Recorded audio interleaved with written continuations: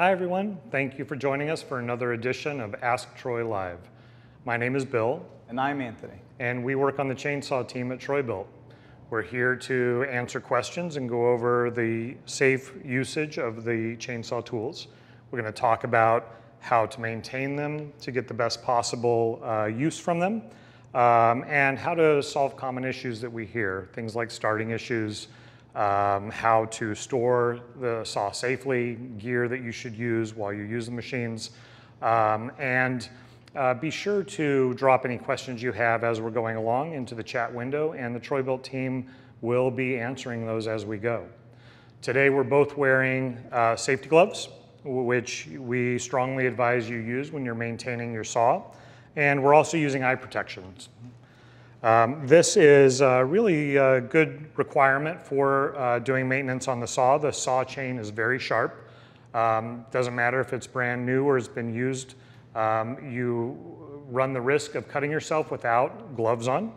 Um, and there are all sorts of residues once the machine has been used, uh, oil, fuel, um, things that could get in your eyes that um, definitely are not safe and would be uncomfortable. So uh, be sure to get that eye protection on.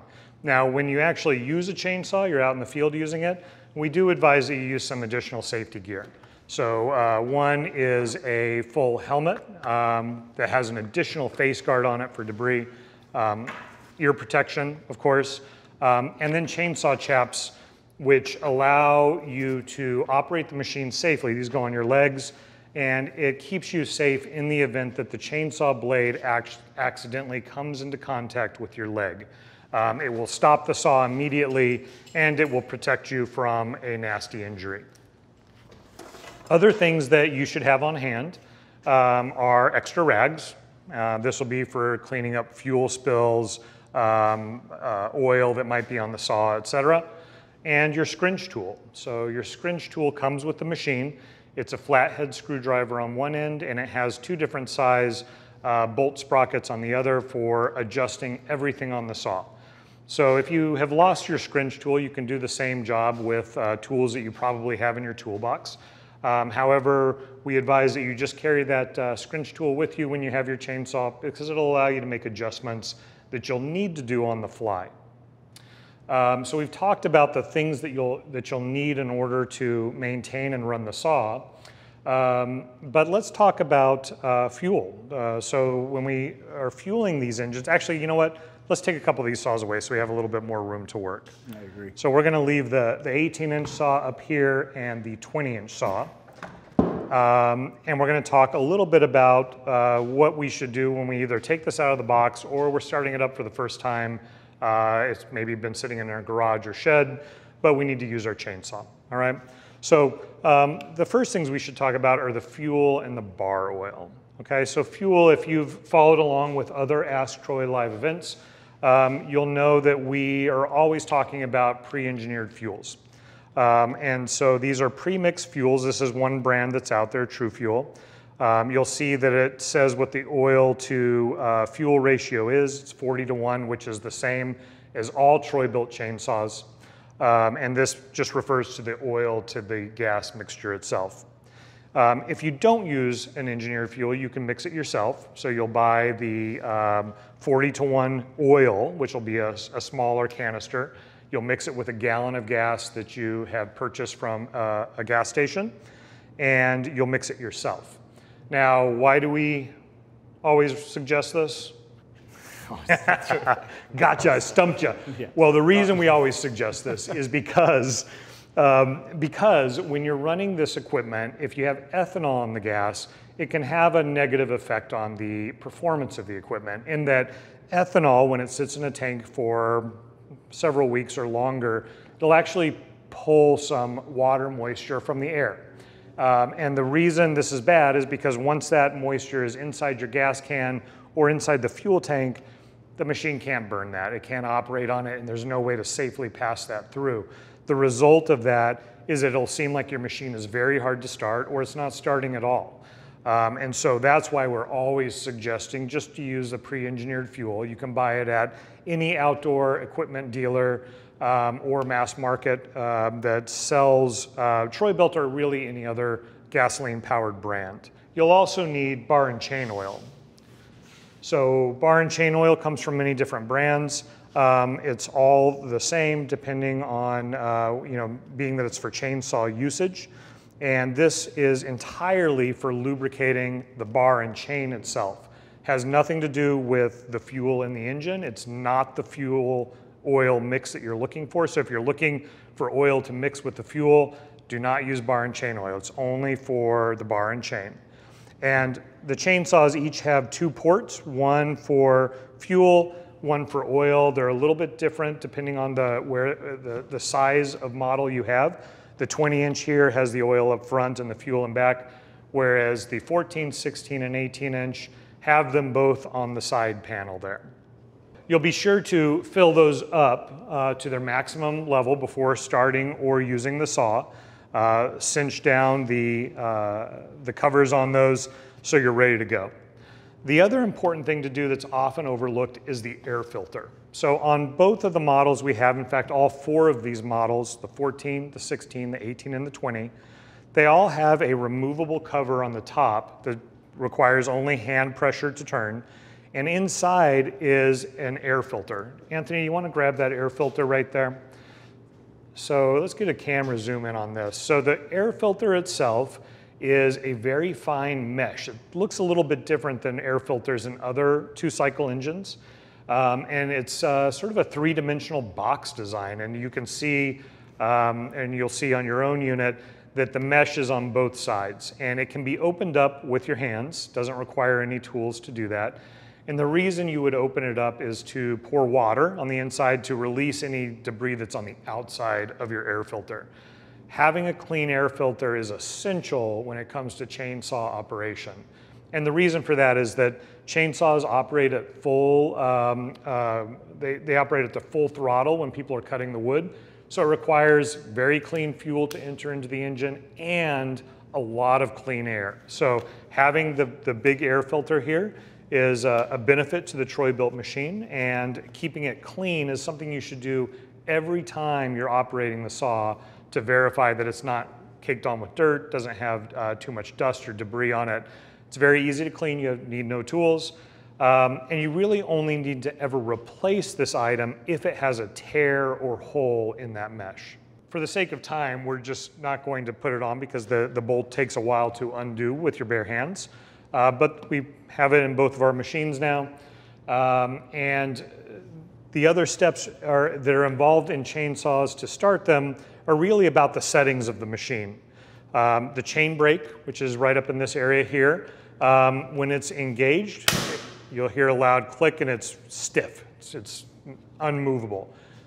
To the normal operation of the saw is pulled back and it's very flexible. You can see it has a lot of give in both directions. The chain brake is a safety feature that allows for, if a kickback were to happen, this chain brake engages and it stops the saw blade immediately. Um, so this helps you if you come into some contact with something that pulls the saw away from your hands. But to start the saw, you need to have this pulled back. You need to have it in this position here. The other important things with the chainsaw is that there's an on-off switch to them. The on-off switch the, the zero or O mark, when it's pressed in, the chainsaw is off. And so if I try to start this with the switch in the off position, we will find that it just won't start. You'll be pulling on the cord forever, and you may think this product is uh, doomed, it's not working, I have a defective unit. Um, but it is in fact a working unit. You really need to make sure that the on switch is flipped before you start the unit. The reason it has an on off switch is so when you're using it, you have a kill switch basically. You can turn it off while you're setting it down on the ground and it'll shut all the functions of the saw off uh, in one go. Now the other important uh, elements of starting are of course the fuel bulb right here which helps prime the engine. You'll be pressing this 10 times. You'll be filling that with fuel and uh, as we were looking at some saws uh, earlier today, you actually will see some air in there. It'll look like there's air bubbles forming that's fine. You just want this to be look like it's mostly full of gas. Once you have it full of gas, the fuel has been circulated through the engine. You'll pull out the, the choke mechanism um, and it'll, it'll pull out slightly. This will allow lots of air into the engine during your starting. you need to have this on the ground, all right? Chainsaws must be started on the ground for safety reasons. And that is you'll put your foot right here on the saw, uh, you'll put your hand around the ha wraparound handle, gripping it with all fingers, and then you'll start pulling the recoil handle. You'll pull this five times, and the saw is not gonna start, so don't be alarmed by that. You don't need to pull hard either, okay? Your chainsaw has a spring inside that that allows a very simple slow pull. You'll pull it the entire length of the cord, um, and you'll release it each time. So just five pulls. You'll then push the choke back in, pull it three to four times, and it should fire up.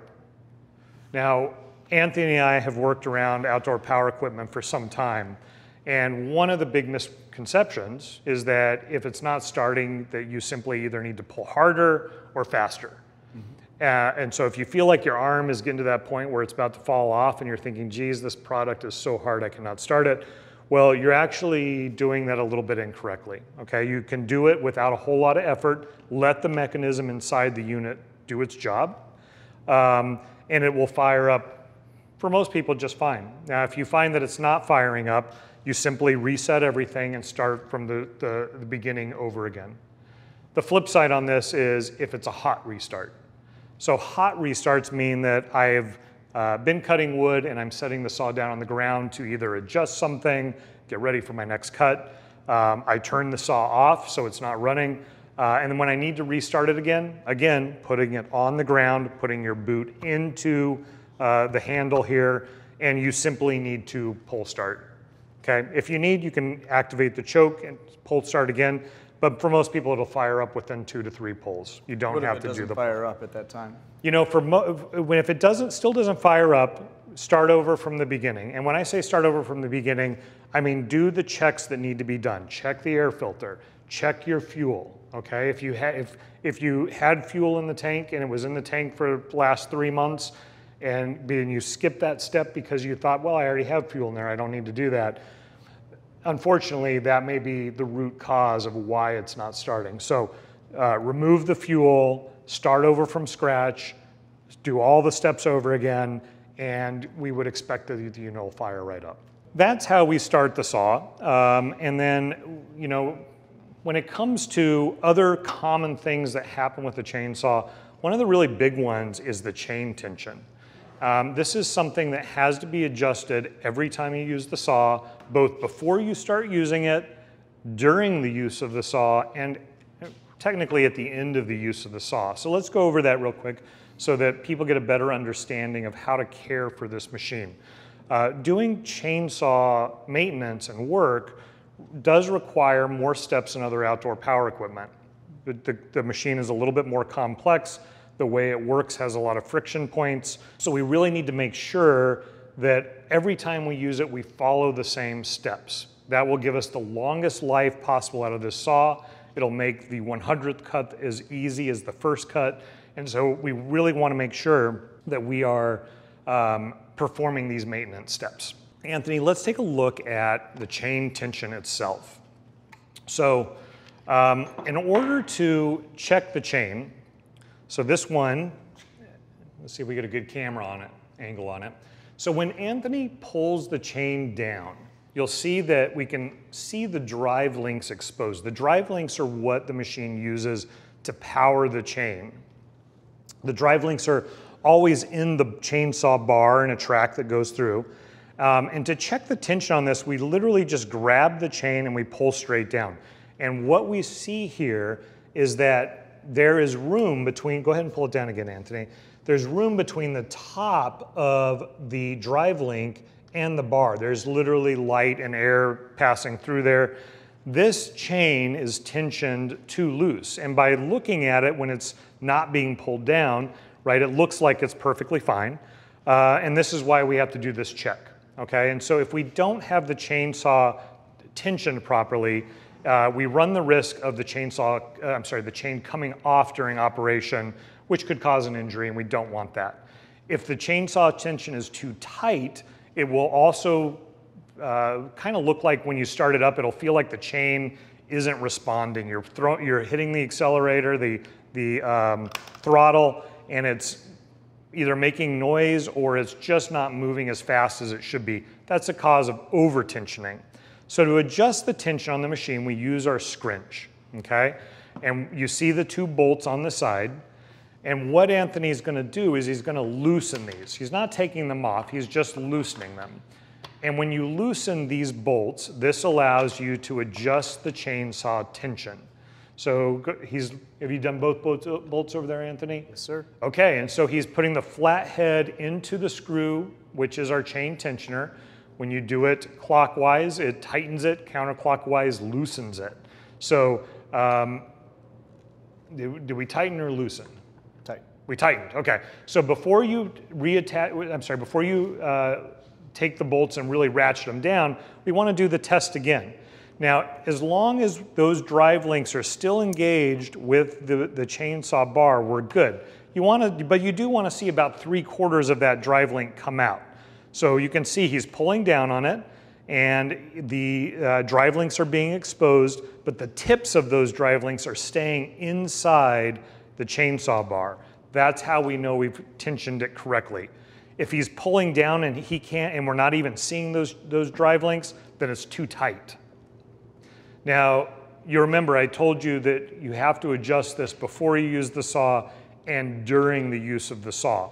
When you use a chainsaw from its completely cold start, the heat and friction that the chain is subjected to will make the metal in the chain relax. So it'll actually start appearing to get loose while you're using the chainsaw.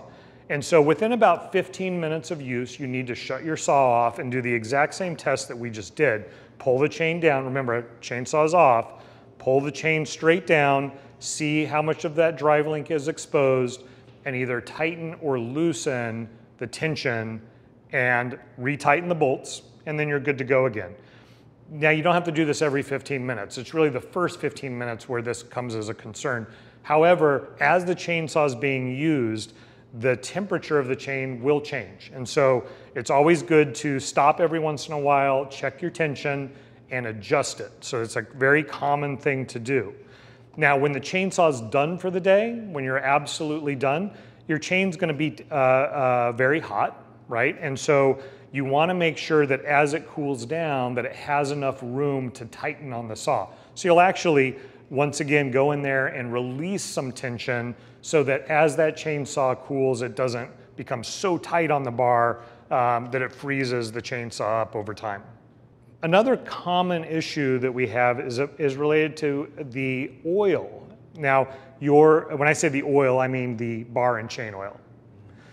The uh, bar and chain oil is only for lubricating the chain and the bar during operation. Okay, they must stay lubricated or the saw will start basically melting the metal, and we don't want that. The oil, though, is on every Troy-Bilt chainsaw, the oil is in the form of an adjustable automatic oiler. So if you used to own a chainsaw 20 years ago, you might remember that there was a button on the side and you press that button every time you needed oil. Well, newer chainsaws do this for you automatically. They produce a very steady, consistent flow of oil that comes out of the chainsaw directly onto the bar and chain itself and keeps it lubricated while in operation. This pump only works while the saw is moving, okay? It doesn't work if the saw is turned off, um, but it is adjustable. And so when we produce this at our factory, we actually open that adjustability to its maximum setting because we're not sure what you're cutting through. We're not sure the size of log, the time that you're cutting, how much uh, um, energy and effort your specific cutting job requires. Since we don't know that, we adjust that automatic oiler to its maximum. And if you don't like that, if it, you find that this thing is emitting too much oil, or when you store it in the garage, it's creating a big oil pool underneath it from all the oil dripping off the chain and the bar. Um, the way to adjust that is actually on the bottom of the machine. So we're gonna have Anthony turn over his 18 inch Troy-Bilt model and we're gonna point to it. So the adjustable oiler, um, when you can find it in the instruction manual, there's uh, some printing on the bottom here. But in this case, the way you find it is there's a little uh, sort of carve out in the housing of the chainsaw, and you can see it uh, right by Anthony's finger. He's pointing right at it. Um, and inside this area, your, your screwdriver part of your scrench will fit. And uh, with some keen eyes, you'll find the screw inside. It's a black screw, so it doesn't come across real well uh, for this filming that we're doing right now. But you simply turn that to the right or to the left. You turn it to the right, it's gonna reduce the amount of oil. It won't shut it off entirely. And the reason for that is you have to have oil in order to operate a chainsaw safely and effectively. So again, if you find the chainsaw is oiling too much, by all means adjust it. It's one of the key features of a Troy-Bilt chainsaw. Just a quick reminder, don't forget to put your questions into the chat window. Uh, the Troy-Bilt team will be answering them as we go. Hopefully we're answering some of your questions on air right now, uh, but don't hold back. Whatever you need, uh, we're here to help you. All right, so we've talked about starting, we've talked about tension, and we've talked about how to adjust the oil on the machine. Another important thing we really need to talk about is the chain itself and how to sharpen this chain and how to, how to and when to replace the chain and the bar. Um, if you've been to uh, retailers and looked at chainsaw items, you'll see that they often carry chainsaw bars and chainsaw chains. The reason for that is that the chains do dull over time. In fact, every time you cut with them, they're dulling ever so slightly. Now, a Troy-Bilt, all Troy-Bilt models have a low kickback bar and chain. And what this means is that the chain has certain features on it that keep it, uh, use, keep it usable in a safe condition so that any kickbacks that might occur with the chainsaw are reduced. They're not eliminated, uh, so you still have to operate this machine safely, uh, but it reduces the instance of kickbacks. Um, and so sharpening the chainsaw chain is about knowing how to do it and when to stop doing it and replace the chain outright. All right, so let's go ahead and take a look at how to sharpen real quickly. So what Anthony's got in his hand uh, is a chainsaw sharpening tool. And each one of the cutting uh, links of the chain uh, has a sharp point to it, is sort of uh, at an angle as you'll see. Um, and then they're spaced out, probably about every inch and a half is a cutting blade. Right next to the cutting blade is what's called a depth gauge. And so it's a small little post that's sticking straight up right before the cutting edge. Sharpening a chainsaw is not necessarily difficult if you have the right tools. You simply put the file in, match the angle. Uh, in this case, uh, there's lines on here which you'll match up, and you simply push the file through um, each of the chain links. You'll do all of one side first, then you'll do all the opposing side because the angles change. The key though is that you also remove some of the metal on the depth gauge. So you'll need another file to do a couple strokes on the depth gauge to take it down. And this allows the, the kerfs, which are the little chunks of wood, sawdust, I think is what most people would call that. The sawdust, it allows you to cut meaningful pieces out of the wood. If you find that as you're cutting it looks like dust coming out the back uh, or very fine sawdust that's uh, almost like paper thin, generally what that means is that your depth gauge is too shallow. It's not, you didn't grind it down. Maybe you sharpened the links very well, but you did not take a little bit off that depth gauge. Because every time we sharpen the saw, it's removing a little bit of the metal. Now, one more thing for our cameraman to zoom in on is the detail of this chain, which is, like I mentioned, is a low kickback chain. So about where I'm pointing right now, um, it's a, uh, a cutting blade that's on my side of the chainsaw. And on your side, the camera angle is a black fin. It almost looks like a shark's fin right there. When you start sharpening the chain and digging into that black fin, you're starting to remove that safety feature for the low kickback chain. And that's really where, for a residential saw, that's sort of the warning that you have that you probably need to replace this chain to one, retain the safety features of it, and to two, obviously get yourself a very sharp chain. So let's talk about if we're in that, that realm, what we should do. Anthony, what do you use chainsaws for in your personal life? Uh, personally, I just use it to cut down small tree branches every now and then, probably only a few times a year. Okay. So, and I use my chainsaw if I go camping or hunting, and generally to collect firewood at the end of the year. And so as a result of that, our chain needs may be a little bit different. Depending on how much you're using the saw, right? I said you should figure that there'll be a little bit of doling every time you use it. If you're just using it to cut branches, to do pruning once in a while as your growth gets a little bit unmanageable and you're cleaning it up, well, you're really not using the saw that often. That chain's gonna stay sharp for a long period of time. For my purpose, where I'm cutting firewood, I'm gonna dole it more quickly because it's a full day of cutting uh, you know, wood that's either fallen on the, the forest ground or dead trees that I'm felling.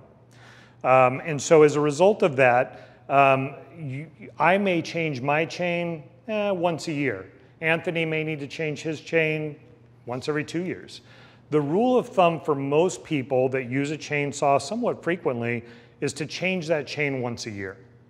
And as far as the bar, and we'll talk about this as we remove the bar, for many people, you remove, you change the bar every two chains. So for me, it might be every two years I, I change the bar, but we'll take a look at the bar to make sure that it's safe to put back on uh, when we remove it here in a moment. So let's talk about how to remove that. Anthony, can I have you spin that saw around for the camera? Okay, so changing a chainsaw chain and bar follows some of the steps that we did before.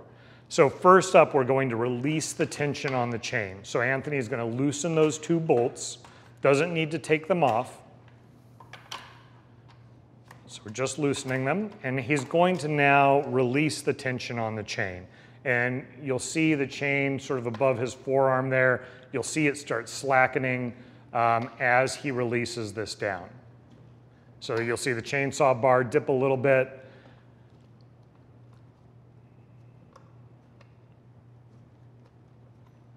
And so now when he's playing with the chain, you see there's a lot of slack in that chain. At this point, he just removes both bolts. So you want to you want to get that tension off the chain before you do this step uh, because it'll make assembling it all back together again that much easier. Okay, so Anthony's just removed both of those bolts. Still working on the second one. All right. Now, we were, we were practicing this a moment ago, and we're both wearing these gloves, which are actually kind of form-fitting gloves.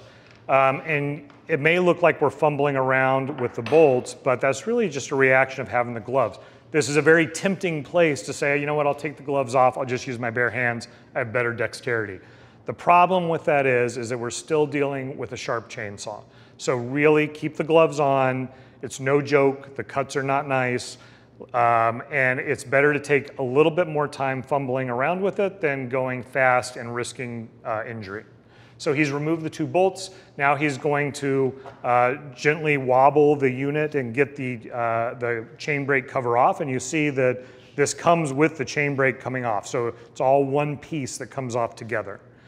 And by simply pushing it on the bar and releasing it, uh, you can release the chain as well um, and it allows you to just take the chain right off. At this point, you would, uh, if you have a new chain, you'll simply replace the chain and put it on. But before we do that, let's point out a couple things on the bar real quick for everyone to see.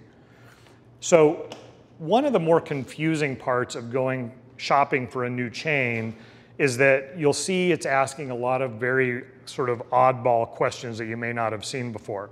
So what we do at Troy-Bilt is we actually print on the bar itself what the part numbers are for this bar and this chain, which will be different on each saw. Um, so Anthony's pointing to that right now. You'll see those two part numbers. Now, this also exists on the saw. So you'll see there's a label on every saw that gives you both the bar part number and the chain part number. This will allow you to buy a Troy-Bilt replacement bar and chain. Now, in the event that you can't find a Troy-Bilt bar and chain or your local dealer, you need the saw right this moment, you can't buy it online and you need to buy uh, a chain from another manufacturer, you'll also see on the bar, and if you want to point to this, it looks like a little bit of a code. It has a number, it has the letters DL, and then it has a measurement. DL stands for drive links. That's the amount of drive links that the chain has in order to be turned by the sprocket. So in this case, it's a 62 drive link chain that's 3 8 inch. That piece of information right there allows you to buy a chainsaw chain if you don't know the part number. Um, so always look at your bar, and your replacement bar that you put in should have that information on it as well. So if you find a chainsaw bar that doesn't have any of that information, I'd say keep looking until you find either a Troy-Bilt bar or something else that does, because at some point you're gonna need to replace this in the future. And like most of us, we don't think about chainsaw chains on a daily basis. When we need them, we need them, and when we replace them, we replace them. So in this case, uh, we would have a new 18 inch uh, chain. Let's take a look over here. So at the very tip, the very tip of the chainsaw bar is an image, and it shows you the direction that the chain's turning, and it gives you a diagram of both what a drive link looks like in this position and a cutting blade. So match that up, and then you know that you have the right configuration on your chain. So you can start then by looping it around uh, the sprocket here and the clutch drum. And then you simply start wrapping the chain around the chainsaw bar, putting those drive links into the groove.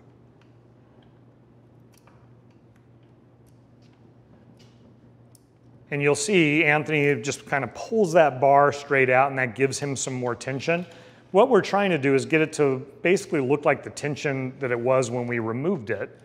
Um, looks like it came off a little bit. And you'll see there's a, there's a little nuance to this, right? It takes a few times to get it lined up correctly, but you don't need to make sure that it's all in the channel. It's fine if a little bit is hanging outside, and we'll show you here this in a, in a second. But this allows Anthony to line up the screws, the bolts, um, and get this back on track. Now, you might be saying, well, what are the, the reasons I would replace a chainsaw bar? Now, if you start seeing the logo getting rubbed off the bar, generally that means there's either a slight bend in the bar um, or it's not getting enough oil. Um, it's starting to burn the, the bar, which changes the, the functionality of it. You could also find metal burrs along the leading edge that is right between the chain and the, uh, the bar itself. So if you see any deformities or you feel any deformities with your hands, it's time to change that chainsaw bar. They won't last forever, so it's, uh, it's a very common replacement item. So you'll see Anthony made sure the chain could rotate. Now he's putting the bolts back on and you see the tension on the chain is very loose and that's completely acceptable. So he's not gonna tighten it down entirely until he gets the bolts on. He'll put both of them on, and then before he fully tightens this, he's gonna use that chainsaw adjustment in order to get the chain tightened. And as we get a little bit tighter, we're gonna move that chainsaw chain along the bar, and if it has derailed at all, it's gonna come back on. So go ahead and. Thank you. So as you see, he's turning it now. You don't have to do that while you're tensioning it, but this allows you to just make sure that it's all seated on the bar itself. And by doing that, it will automatically seat if, if there were any derailed parts. Now, now he's checking the chain tension, right? So you wanna make sure that you can see about three quarters of the drive link coming out. You don't wanna be able to see completely over the drive link. And once you have that tension, then you go ahead and hand tighten those bolts and you are back in business with your chainsaw. You have a fresh chain, you have a fresh bar, and you're gonna have a great cutting experience as a result.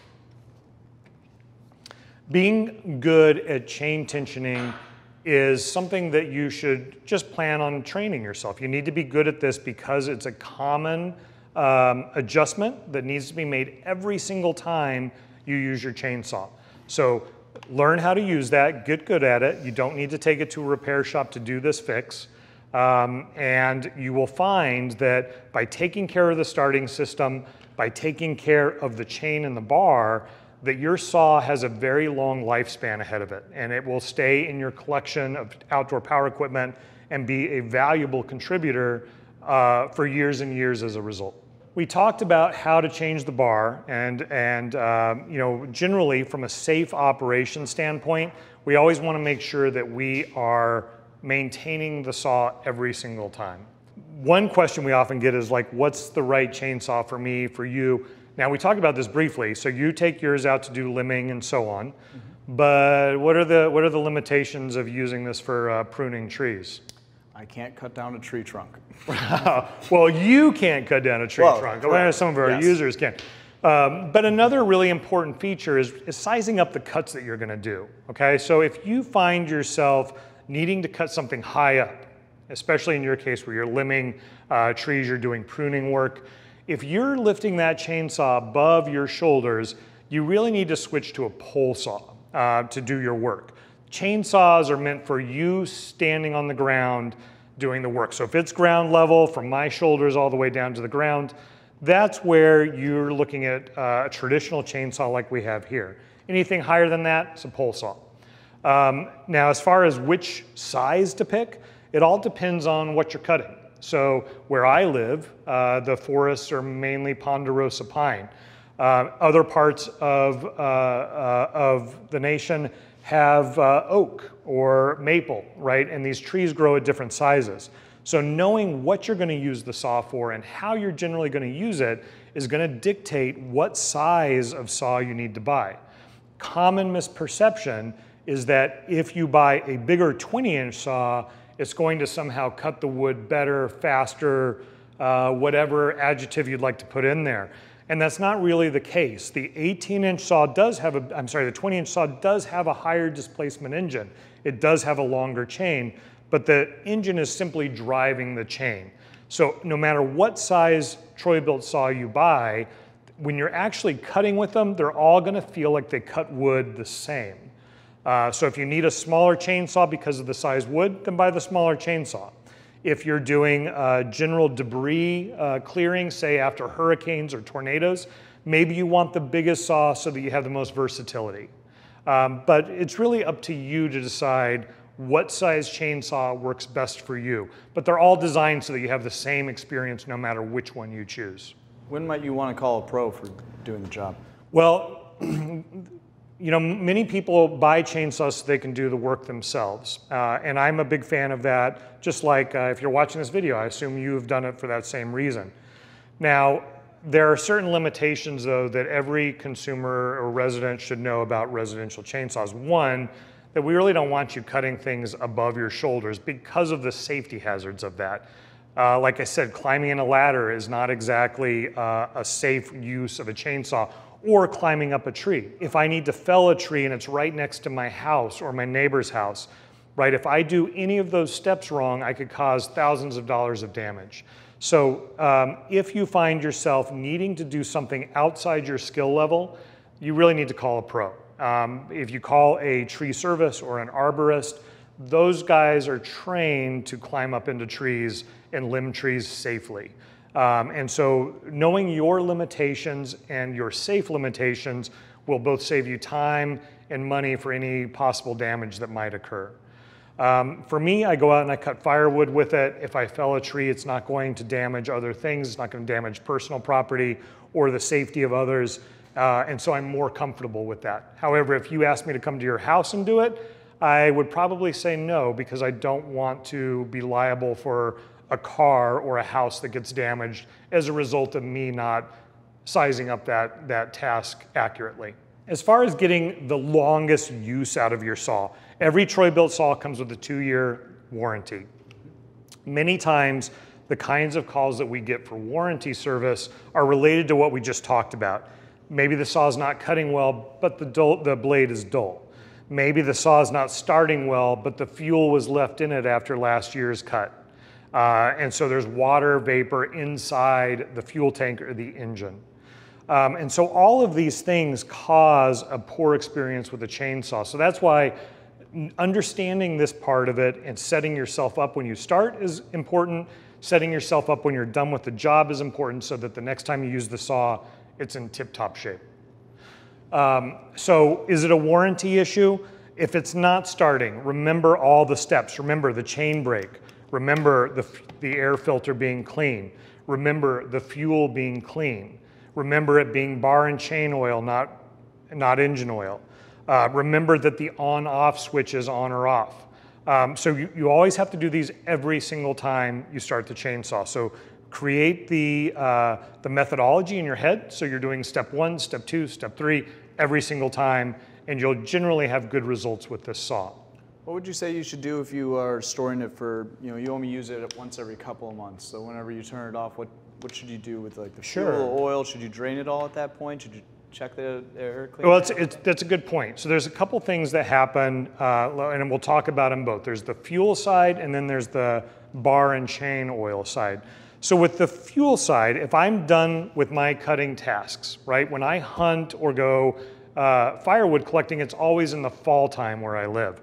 So after that fall time period, I have very little use for a chainsaw, unless maybe something odd happens during the summer months, et cetera. So if I'm not gonna be using the saw for a month on end, I really need to drain that fuel. So you will uh, remove the, the, the, cap and drain the fuel out, make sure it's empty. Um, and if you've mixed your own fuel or you've used a premix fuel, um, generally the best case scenario is to add a little bit of premix fuel, just a little bit, uh, start the engine up, and let it run through. So it'll run through the fuel that's within the fuel lines, it'll stall itself out, uh, and then you'll know that there's no fuel in the engine or the carburetor. And if there's no fuel in there, it doesn't attract water, which will make the saw harder to start the next time. Draining your bar and chain oil is also an important step. Now, I, I mentioned at the beginning that the bar and chain only gets oiled while the machine is on, while the machine is rotating, okay? Um, but that doesn't change the fact that when you turn this off, it's gonna be completely coated in lubricating oil. So it leads me into another common consumer complaint is that they buy their Troy-Bilt saw and when they're storing it in their garage, they think, wow, this thing is leaking oil all over the place. What's wrong with it? Um, and there's nothing wrong with your saw. It's not, there's no oil being used in the traditional sense to lubricate the engine the oil that you're seeing is all oil, oil to lubricate the chain and the bar itself. And so when I turn this off and I take it home, it's going to be coated with oil. So much oil that any touch to it is gonna, you're gonna see oil everywhere. So when you put this in a shed, in your garage, in a chainsaw case, the next time you go to it, you're always gonna have oil spots underneath it. So it's just one important factor on when you buy a chainsaw is thinking about how you're gonna store the chainsaw because it doesn't matter what brand you're using, it doesn't matter um, what size of saw, they all require bar and chain oil. And this goes for battery powered saws as well.